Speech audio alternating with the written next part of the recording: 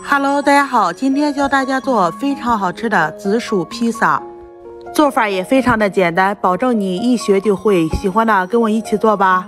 碗中加入一百三十克高筋面粉、五克糖、一克盐、两克酵母粉、八十克清水，搅成絮状，加十克玉米油，和成一个软硬适中的面团儿。不用醒面，直接放到案板上，用擀面杖把它擀成薄饼。披萨盘里刷上油，把擀好的面胚放到里面，整理一下边缘，用叉子在上面插满排气孔，盖上保鲜膜，放温暖处醒发至两倍大。紫薯去皮切成片，上锅蒸熟。